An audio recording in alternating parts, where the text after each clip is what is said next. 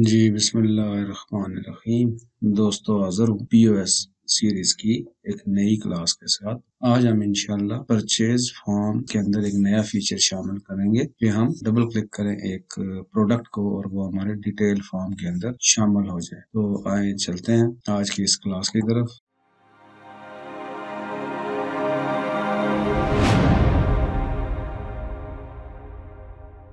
तो दोस्तों, ये एक परचेज फॉर्म हम पिछली क्लासेस में बना रहे थे। पिछली क्लास में हमने यहाँ पे प्रोडक्ट्स को शामिल किया था आइटम्स को अपने एक लिस्ट बॉक्स में और यहाँ पे हमने उसको एक सर्चिंग का बॉक्स बनाया था। यहाँ पे हम जो भी लिखते थे, वो हमारा सर्च हो जाता था। तो यहाँ से हम प्रोडक्ट जो है वो अपनी सर्च कर सकते हैं। आज हम इनशाला यहाँ पे इसको ये फंक्शनलिटी शामिल करेंगे। इसको हम डबल क्लिक करें तो डबल क्लिक पे हमारे ये वाली प्रोडक्ट हमारे बिल के अंदर शामिल हो जाए।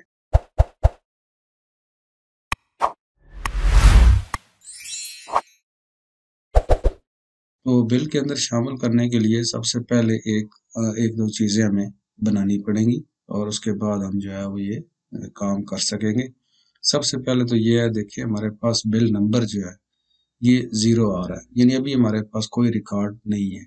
तो हम ये चाहेंगे जैसे ही हम ये फॉर्म खोलें, फ़िलहाल तो हमने इसमें रेविगेशन भी लगाया हुआ है, हम अगले रिकॉर्ड पे जा सकते हैं, पिछले पे जा सकते हैं। स्नैरियो हमारा ये होगा कि हम ये एक मेन्यू बनाएँगे और मेन्यू से ये जब क्लिक करेंगे तो इस फॉर्म को हमेशा एक हम नए रिकॉर्ड के लिए खोलेंगे।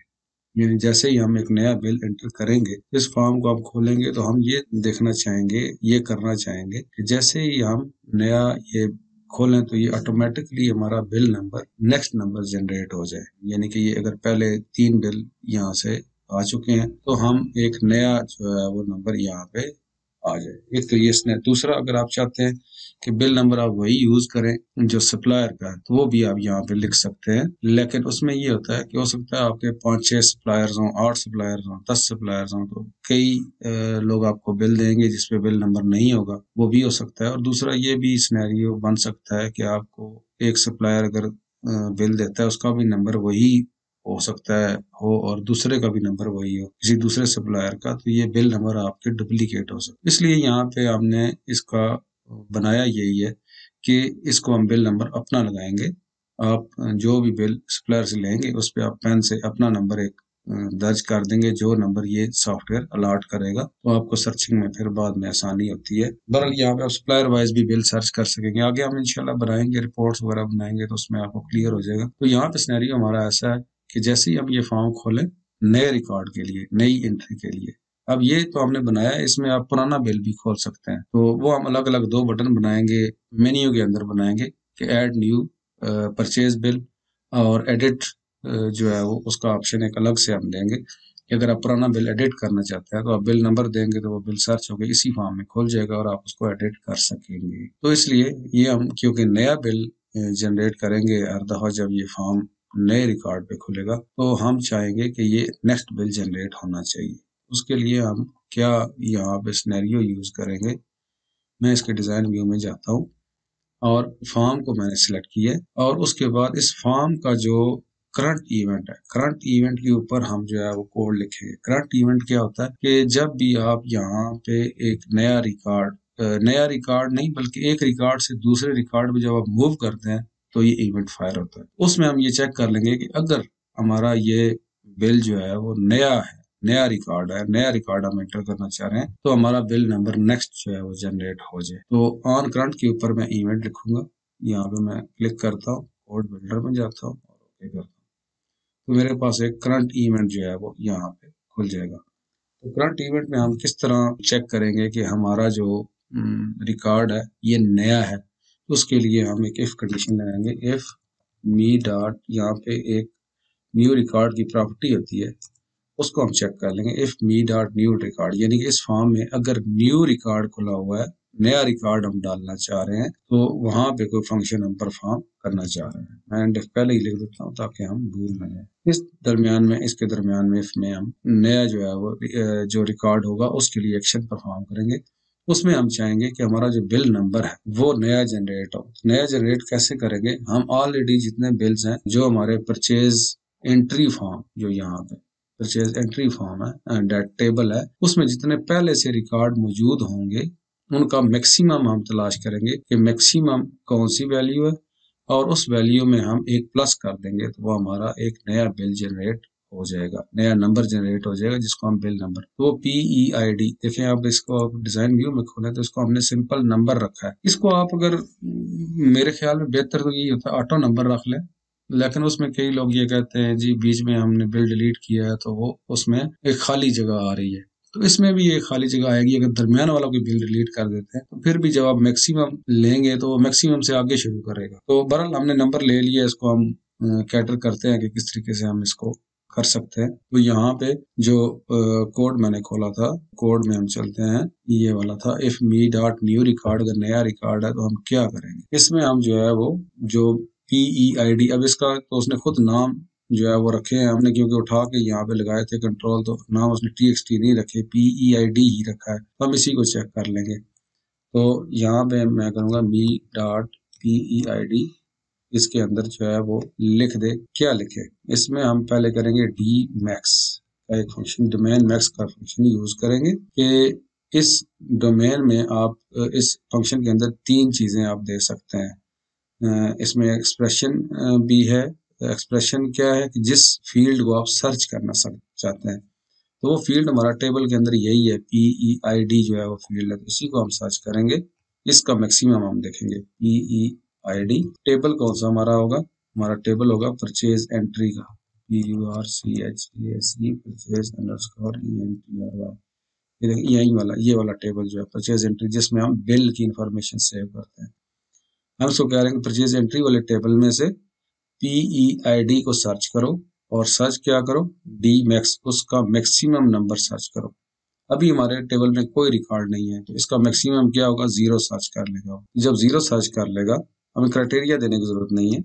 उसने मैक्सिमम नंबर सर्च कर लिया और इसमें हम कर देंगे प्लस बल्कि इसमें एक और चीज़ भी मैं करता हूँ, ताकि नल को मैं ज़ीरो में कन्वर्ट कर सकूँ। अगर उसको कोई नहीं मिलता नल मिलता है तो मैं शुरू में एन जेड लगा दूँगा एन जी का function null to zero conversion और अगर उसको नल मिलता है तो उसको ज़ीरो में कन्वर्ट कर दे। अगर उसको कुछ नहीं मिलता, कोई रिकॉर्ड कोई शेयर नहीं मिलती तो उसको वो ज़ीरो में कन्वर्ट कर दे।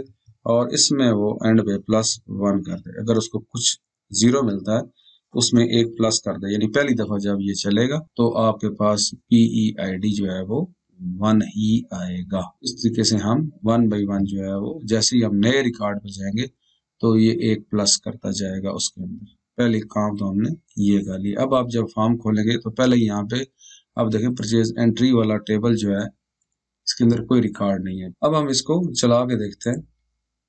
देखें, अब उसने क्या दिया? वन दिया। यानी कि कोई रिकॉर्ड नहीं है, पहले रिकॉर्ड को उसने वन का नेम दे दिया। इसी तरह हमारा, जब हम दूसरी दफ़ा इसको फॉर्म को चलाएँगे अपना नए रिकॉर्ड के लिए, नए रिकॉर्ड पे जब हम जाएँगे, तब ये उसको टू कर देगा। लेकिन अगर जब पुराने ही रिकॉर्ड पे हम जाएँगे तो ये वन ही उसको लिखेगा। क्योंकि हमने कंडीशन लगाई है if me dot new record ये हमने बिल नंबर जनरेट कर लिया। वन आ गया। अब दूसरा काम हम क्या करेंगे? डेट के अंदर हम जो है वो यहाँ पे आज की डेट जो है वो ऑटोमेटिकली लाना चाह रहे हैं। तो इसमें हम, जैसे ही फॉर्म लोड हो, इसके फॉर्म लोड इवेंट पे भी मैं लिख सकता हूँ। यहाँ पे P U R under date हमारा इसका नाम है। तो लोड इवेंट पे या करंट इवेंट पे लोड इवेंट पे बोल के लिखते हैं हम। डाटा इवेंट में मैं जाता हूँ। फॉर्म जब लोड हो तो बल्कि यहाँ पे नहीं करते, हम टेबल में करते हैं। परचेज एंट्री टेबल है। इसको डिज़ाइन व्यू में खोलते हैं। और इसका जो डिफ़ॉल्ट वैल्यू है डेट की सॉरी ये डेट की डिफ़ॉल्ट वैल्यू है, यहाँ पे हम कर देते हैं डेट ये डिफ़ॉल्ट वैल्यू जो है वो ये होगी। अगर डेट नहीं लिखी हुई तो डिफ़ॉल्ट वैल्यू यहाँ पे ये है यस कर दें। इसको क्लोज कर दें। ऑलरेडी अगर कोई फ़ीड परचेज में हुआ हुआ है तो इसको मैं डिलीट करता यस देखें, वो ऑलरेडी यहाँ पे हमें डेट दे रहा है। तो ये परचेज फॉर्म में खोलता हूँ। देखें बिल नंबर उसने मान दिया और डेट हमें उसने खुद खुद दे दी अगर हम इसको चेंज करना चाहें तो हम यहाँ से चेंज भी कर सकते हैं। उसके बाद यहाँ पे सप्लायर्स आएँगे। सप्लायर्स हम चुनेंगे और परचेज टाइप हम चुनेंगे। कैश परचेज या क्रेडिट परचेज यहाँ पे भी हम ये कर सकते हैं कि डिफ़ॉल्ट वैल्यू यहाँ पे हम दे सकते हैं कि कैश परचेज होनी चाहिए या क्रेडिट परचेज होनी चाहिए, वो भी हम दे सकते हैं। वो खैर आपको इल्म हो गया होगा हम डिफ़ॉल्ट वैल्यू कैसे हैं तीसरा यहाँ पे हम सर्च करेंगे। यहाँ पे एक और चीज़ आपको बताऊँ, एक नई छोटी सी ट्रिक बता देता हूँ आपको कि यहाँ पे अगर आप जिस तरह गूगल टाइप होता है, एक सर्च बॉक्स होता है, यहाँ के इसके टेक्स्ट बॉक्स के अंदर कोई चीज़ लिखी होती है आप क्लिक करते हैं तो वो मिट जाती है और यानी कि लेबल जो है, वो इसके अंदर ही दिया होता है। वो आप एक्सेस में भी कर सकते हैं। देखें यहाँ पे आप जाएँ सर्च आइटम को मैं डिलीट कर देता हूँ। मैं यहाँ पे नहीं लेता, इसको राइट इसको क्लिक करता हूँ दोनों को और इसको मैं अरेंज अलाइन करता हूँ लेफ़्ट लेफ़्ट पे ये दोनों ताकि एक लाइन में हो जाए। और इनको मैं बल्कि साइज़ एंड स्पेस भी बराबर कर देता हूँ।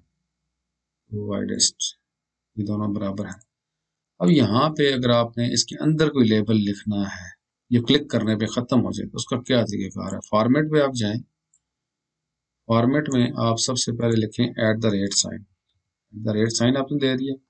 उसके बाद डालें सेमी कॉलन सेमी कॉलन डाल दें। आगे डबल कोटेशन डालें। डबल कोटेशन के अंदर आपने जो मैसेज यूज़र को देना है, वो आपने डबल कोटेशन के अंदर लिखना है। आप यहाँ पे लिख सकते हैं सी L I C K click to search items search item का कोई आइटम सर्च करने के लिए यहाँ पे क्लिक करें और इसको नीचे क्लिक करें। अब मैं इसको चलाता हूँ, देखें क्या फ़र्क पड़ता है। ये देखें, इसके अंदर आया click here to search item जैसे यूज़र यहाँ पे क्लिक करेगा, वो वाला इसका जो कर्सर है वो खत्म हो जाएगा और यहाँ पे वो सर्च कर सकता है। यहाँ पे वो डबल क्लिक करेगा और वो चीज़ यहाँ पे फ़ीड हो जाएगी। तो ये एक जस्ट मैंने आपको एक नई चीज़ बतानी थी। जैसे यूज़र यहाँ से कर्सर वापस लेके जाएगा, कहीं और लेके जाएगा तो यहाँ पे आप आपके पास एक, जिस तरह एक लाइव मैसेज होता है, वो आप प्लेस होल्डर कह लें इसको वेब की ज़बान में प्लेस होल्डर कहते हैं। कि आपने एक प्लेस होल्डर लगा दिया। कि यहाँ पे यूज़र क्लिक कर सकते हैं। आपने एक यहाँ पे लेबल की जगह भी बचा ली ताकि यूज़र को समझ भी आए यहाँ पे क्या करना है और एक लेबल भी आपने उसको समझा दिया। तो ये दो तीन चीज़ें मैंने आपको पहले बतानी थी। ये हमने कर ली। उसके बाद हम यहाँ पे जाते हैं और यहाँ पे हम अपना कोड लिखते हैं कि इसके डबल क्लिक इवेंट के ऊपर हमारा आइटम यहाँ पे शामिल हो जाए। आज हम सिर्फ़ यहाँ पे यही करेंगे इसको डबल क्लिक इवेंट पे जाएँगे और यहाँ पे आइटम को शामिल करेंगे। इसका मैं डिज़ाइन व्यू में जाता हूँ और यहाँ पे मैं हम्म, इसको लिस्ट बॉक्स को सिलेक्ट करता हूँ इवेंट में जाता हूँ और डबल क्लिक इवेंट इस पे मैं कोड लिखता हूँ। क्लिक करता हूँ चले गए। ये हमारा कोड जो है वो आ गया। अब यहाँ पे हमें एक सबसे पहले तो सिनेरियो ये चाहिए देखिए, ये दोनों टेबल जो है वो आपस में रिलेटेड है। अगर तो ये टेबल जो है, इसमें रिकॉर्ड सेव नहीं होगा ऑलरेडी रिकॉर्ड नहीं होगा। अगर इसमें ऑलरेडी रिकॉर्ड नहीं है तो उसका रिलेटेड रिकॉर्ड यहाँ पे भी सेव नहीं होगा। इसलिए ये रिकॉर्ड पहले सेव होना ज़रूरी है। इसको हम सेव करेंगे और उसके बाद फिर हम आके इस टेबल में डाटा फ़ीड करेंगे। देखिए, इस चीज़ को सिनेरियो को समझना बहुत ज़रूरी है। यहाँ पे आपने परचेज एंट्री का टेबल बनाया। परचेज एंट्री में पीई आई डी होगी तो उसका रिलेटेड रिकॉर्ड यहाँ पे आप फ़ीड कर सकेंगे। क्योंकि ये रिकॉर्ड आपने परचेज डिटेल में फ़ीड करना है। तो डिटेल में फ़ीड करने के लिए आप, क्योंकि ये दोनों फॉर्म देखें लिंक हुए हुए हैं, इसको मैं क्लिक करता हूँ डाटा में जाता हूँ। देखें link master fields PE ID और चाइल्ड फील्ड्स भी पीई आईडी पीई आईडी के थ्रू ये दोनों फॉर्म आपस में लिंक हुए हुए हैं। जब तक ये PE ID purchase entry table में नहीं होगा तो उसके related record purchase detail table में नहीं इंसर्ट हो सकेगा। इसलिए पहले हमने इसको करना है सेव इस रिकॉर्ड को जो हम यहाँ पे डालेंगे। चेक्स हम बाद में देखेंगे कि अगर डेट नहीं डली हुई या सप्लायर नहीं चुना गया या परचेज टाइप नहीं लिखी गई तो ये उसको सेव नहीं करने देगा। तो उस सूरत में हम बाद में चेक्स लगा देंगे यहाँ पे। फ़िलहाल हम आज की कोडिंग में इतना करेंगे। कि हम इस फॉर्म को सेव करेंगे, इस रिकॉर्ड को, और उसके रिलेटेड रिकॉर्ड यहाँ पे हम डालेंगे। इस डबल क्लिक इवेंट पे हमने पहला काम ये करना है कि हम पहले इस form main purchase entry form को सेव करें। सेव करने के लिए मैनुअली आप कोडिंग के दौरान अगर सेव करना चाहते हैं किसी रिकॉर्ड को तो क्या लिखते हैं? Do command dot run run command होती है, और आगे होता है A C C M D save record तो आप ये लिखेंगे तो आपका ये पहले वाला जो मेन रिकॉर्ड है वो सेव हो जाएगा, क्योंकि वो बाउंड है परचेज एंट्री टेबल के साथ तो उसी के अंदर वो सेव हो जाएगा।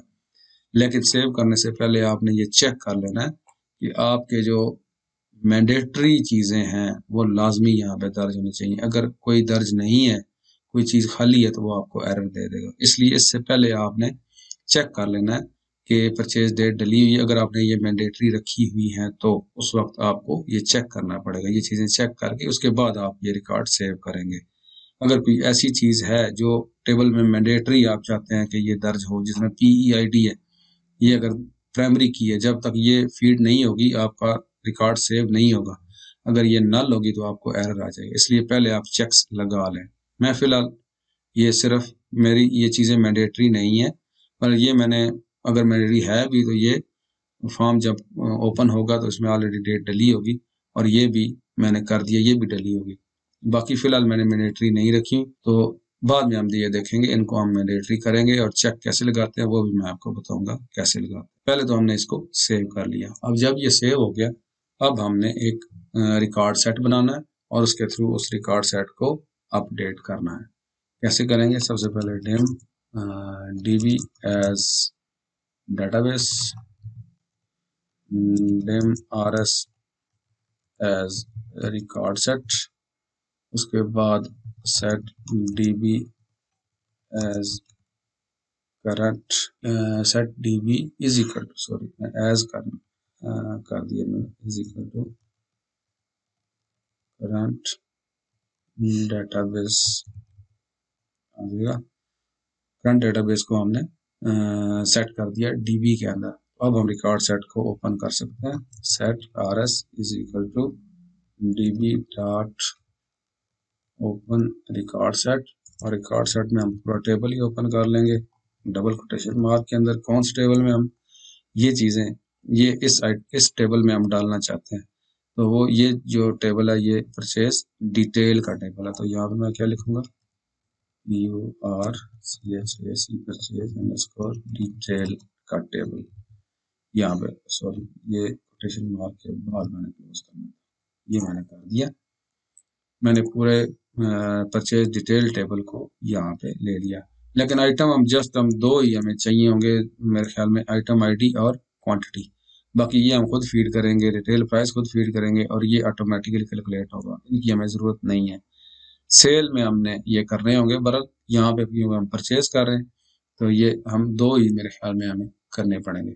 जब ये डिटेल टेबल खुल गया तो मैंने क्या करना है? R S dot add new add new करेंगे, और न्यू में हम सबसे पहले क्या फ़ीड करेंगे? R S sign of exclamation और अब देखें यहाँ पे मैं साथ आपको डिटेल टेबल खोल के दिखाता हूँ। ये मेरे पास डिटेल टेबल खुल गया यहाँ पे नीचे कर लेते हैं ताकि आपको ये समझ अब यहाँ पे पी डी आई डी यानी कि ये इसकी प्राइमरी की है। ये ऑटो इंक्रीमेंट है, जिसमें न्यू लिखा हुआ है। तो ये तो ऑटोमेटिकली फ़ीड हो जाएगी, जैसे रिकॉर्ड सेव होगा तो। इसलिए इसको हमें अपडेट करने की ज़रूरत नहीं है। हमने सिर्फ़ चाहिए पी ई आई डी और आइटम आई डी और क्वांटिटी तीन चीज़ें हमें जो है वो यहाँ पे चाहिए। तो आप पी ई आई डी कहाँ से आएगा? देखें परचेज फॉर्म है। यहाँ पे पी आई डी हमने जनरेट किया है डी मैक्स के थ्रू अगर वन होगा तो वन पी आई डी होगा टू आएगा तो टू पी आई डी होगा। ये हम यहाँ पे कैलकुलेट कर रहे हैं। तो इस जो टेक्स्ट बॉक्स है, इसका मैं रेफरेंस वहाँ पे दे दूँगा और वहाँ पे ये फ़ीड हो जाएगा। तो ये यहाँ पे आप लिख सकते हैं R S dot P E I D table ये जो आर एस हमने टेबल बनाया परचेज डिटेल का टेबल उसका P I D is equal to क्या हो जाएगा? Me dot P E I D form के अंदर जो पी ई आई डी है, इसकी वैल्यू उस पी ई आई डी के अंदर चली जाएगी। दूसरा फ़ील्ड कौन सा हमारे पास? आइटम आई डी तो आइटम आई डी हमारे पास कहाँ पे है? आइटम आई डी हमारे पास ये जो लिस्ट बॉक्स है, जिस आइटम पे हम क्लिक करेंगे उसके कॉलम ज़ीरो के अंदर जो है वो ये पड़ी है। अब देखें डाटा पे जाएँ रो सोर्स आइटम आईडी और ये जो इसकी क्यूरी हमने लगाई थी, इसका जो ज़ीरो इंडेक्स वाला कॉलम है, इसमें आइटम आईडी देखें, यहाँ पे जिस आइटम पे हम क्लिक करेंगे, उसकी आइटम आईडी हमें लिस्ट बॉक्स से मिलेगी। तो उसके लिए रेफरेंस देने के लिए क्या होगा? मैं यहाँ पे जाऊँगा कोड के अंदर R S sign exclamation ID is equal to me dot L S T items dot column zero zero जिस पे मैं क्लिक करूँगा, उसका जो कॉलम ज़ीरो होगा, वो एज ए आइटम आईडी जो है वो मेरे टेबल में फ़ीड हो जाएगा। तीसरी चीज़ हम क्या करेंगे? आर एस ये खैर आप ना भी करें तो क्वांटिटी वन आप लिख सकते हैं, लेकिन मैं ये चाहता हूँ, जैसे ही वो आइटम फ़ीड हो तो उसकी क्वांटिटी जो है, वो वन शो हो। तो आप यहाँ पे R S dot Q T Y is equal to one कर सकते हैं। वन क्वांटिटी वहाँ पे शामिल हो जाएगी।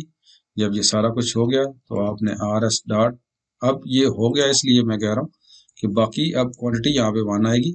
बाकी परचेज प्राइस हम खुद फ़ीड करेंगे शेयर प्राइस खुद फ़ीड करेंगे और ये ऑटोमेटिकली कैलकुलेट होगी। इसलिए यहाँ पे आर एस डॉट में अपडेट कर सकता हूँ। आर एस डॉट अपडेट मैंने कर दिया।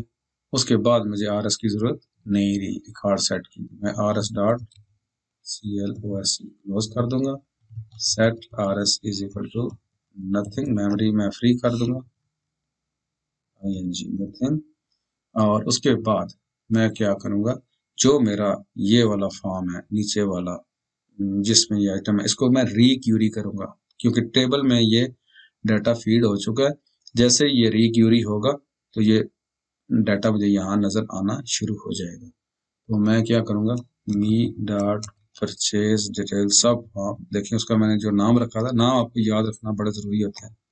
डॉट रिक्यूरी और उसके बाद me dot purchase detail sub form dot set focus उसी को फोकस कर जाए क्योंकि उसमें मैंने क्वांटिटी भी लिखनी है अगर मैंने अमेंड करनी है तो। और दूसरा मैंने वहाँ पे सेल और परचेज की अमाउंट्स लिखनी है। फ़िलहाल इतना करते हैं देखते हैं हमारा ये चलता है या नहीं। मगर उससे पहले हम क्या करते हैं यहाँ पे ये जो बटन्स हैं इनको और उसके बाद मैं कंट्रोल प्रेस करके इसको सिलेक्ट करता हूँ और इसको मैं क्या करता हूँ यहाँ पे अनेबल्ड हम्म, तो रहने देता हूँ लेकिन यहाँ पे अदर में जाके टैब स्टॉप नाउ कर देता हूँ ताकि हमारा टैब इन बटन्स पे स्टॉप ना हो। हम टैब करें क्वांटिटी पे आए, फिर कंपनी प्राइस पे आए, फिर रिटेल पे आए।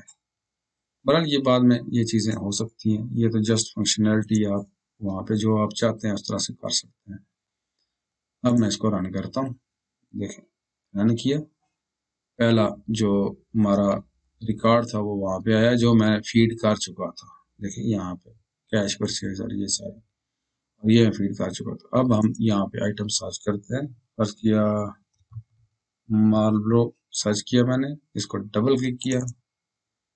देखिए, यहाँ पे ये मेरी आइटम जो है वो आ चुकी है। क्वांटिटी उसकी वन है। मैं टैब प्रेस करता हूँ क्वांटिटी में टू कर देता हूँ और परचेज प्राइस में इसकी कर देता हूँ फाइव फिफ्टी देखें टोटल मेरा अलेवन हंड्रेड ऑटोमेटिकली कैलकुलेट हो चुका है और इसकी सेल हम करेंगे सिक्स हंड्रेड ये पहला आइटम मेरा जो है वो फ़ीड हो चुका है।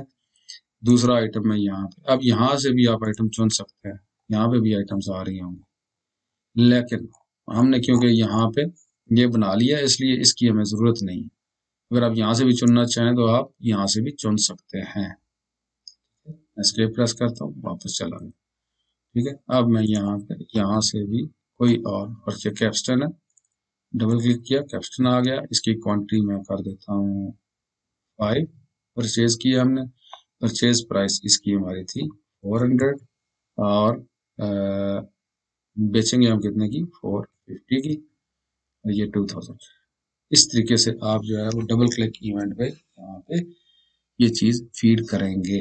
अब आप नेक्स्ट पे जाते हैं, देखिए नेक्स्ट बिल जो है वो टू हो जाएगा ऑटोमेटिकली यहाँ पे आप फ़ीड करें और वापस जाएँगे तो पुराना बिल आपको यहाँ पे वन वाला नज़र आएगा। अब इसमें एक दो चीज़ें मजीद हम करेंगे, बल्कि ज़्यादा करेंगे। देखिए, अब यहाँ पे जैसे ही हमने यहाँ पे प्रेस किया तो यहाँ पे टोटल बिल मेरा चेंज होना चाहिए। उसके बाद डिस्काउंट मैं खुद फ़ीड करूँगा। फाइनल अमाउंट डिस्काउंट के बाद ये भी ऑटोमेटिकली आनी चाहिए। अगर हमने कैश परचेज की है तो कैश पेड जो है वो, ये भी हमें यहाँ पे लिखना चाहिए। और अगर यहाँ से मैं क्रेडिट परचेज करूँ तो ये मेरा डिसेबल होना चाहिए। ये चीज़ें भी हमने अभी कैटर करनी है। दूसरा हमने इस पे स्कैन बार कोड यहाँ पे भी कोड लिखना है, वही कोड तकरीबन तकरीबन वही होगा जो हमने यहाँ से इसके डबल क्लिक इवेंट में लिखा है। लेकिन यहाँ पे हमें टेबल से कहीं से उठाना पड़ेगा, उसकी जो भी नाम और आइटम आईडी है। क्योंकि तो यहाँ पे तो हमने, हमारे पास क्लिक का ऑप्शन मौजूद है। लेकिन यहाँ पे हम जस्ट सर्च पे हम आइटम फ़ीड करेंगे। वो हर बात की बात है, हम करेंगे। उसके बाद हम चेक्स लगाएँगे कि यहाँ पे अगर डेट नहीं लिखी है तो वो आइटम फ़ीड ना करे। सप्लायर नहीं चुना हुआ तो वो भी ना करे और अगर परचेज टाइप नहीं चुनी हुई तब भी ना करे। इनको वो मैसेज दे कि ये आपने यहाँ पे फ़ीड करनी है या उठानी है। और उसके बाद यहाँ पे अगर हम प्रिंट का ऑप्शन भी दे सकें कि हमें एक बिल छोटा सा बहरहाल इसमें परचेज में बिल प्रिंट की इतनी ज़रूरत नहीं होती आ, सेल में हमें ज़रूरत होगी वो हम इंशाल्लाह बनाएँगे। और यहाँ पे हम ये नेविगेशन बटन जो है वो ख़त्म कर देंगे। तो एडिट का ऑप्शन अलग से होगा और दूसरा अलग से होगा। दूसरा एक और चीज़ हम इसमें और फंक्शनैलिटी बहुत सारी फंक्शनैलिटी है। आप अभी, अब देखें कैप्स्टन है यहाँ पे फाइव तो मैं दोबारा कैप्स्टन को क्लिक करता हूँ तो ये कैप्स्टन दोबारा यहाँ पे आ जाएगी। तो मैं चाहूँगा ये भी ना आए। जैसे ही मैं यहाँ पे डबल क्लिक करूँ, उस आइटम पे, जो आइटम ऑलरेडी मौजूद है तो हमें मैसेज दे के ये आइटम ऑलरेडी मौजूद है, आप इसकी क्वांटिटी इन्हांस कर दें। वो भी हम इसमें शामिल करेंगे। फ़िलहाल आप डिलीट कर सकते हैं। वो तो सिंपल एक डेटाबेस का फ़ंक्शन है। और उसके बाद यहाँ पे भी सॉरी कोड लिखना है कि मैं प्लस करूँ तो ये क्वांटिटी प्लस हो और माइनस करूँ तो माइनस हो। ज़ीरो से नीचे ना जाए सॉरी वन से नीचे ना जाए और ज़्यादा से ज़्यादा जितना भी हम कर, मैं करना चाहूँ। जैसे ही क्वांटिटी ज़्यादा हो तो यहाँ पे ये चीज़ हमारी टोटल जो है वो यहाँ पे होना चाहिए। अमेंड होना चाहिए। तो ये चीज़ें खैर हम बाद में करेंगे। तो उम्मीद है ये क्लास आपको पसंद आई होगी। जिसमें हमने डबल क्लिक इवेंट अपने बिल के अंदर ये आइटम को फ़ीड किया। अगर आपको क्लासेस पसंद आ रही हैं तो चैनल को सब्सक्राइब करें और वीडियोस को शेयर करें ज़्यादा से ज़्यादा, ताकि जिन लोगों को ये नहीं पता और वो ये सॉफ्टवेयर अपना पीओएस या इस तरह का कोई भी सॉफ्टवेयर बनाना चाहते हैं, उनको पता चले और वो लोग अपनी मदद खुद के तहत वो बना सकें बजाय लोगों को पैसे देने के और खाम और इसमें उनकी लर्निंग भी बढ़ेगी। तो उम्मीद है इंशाल्लाह आप चैनल को सब्सक्राइब करेंगे, वीडियोस को शेयर करेंगे। बहुत शुक्रिया। अल्लाह हाफिज़।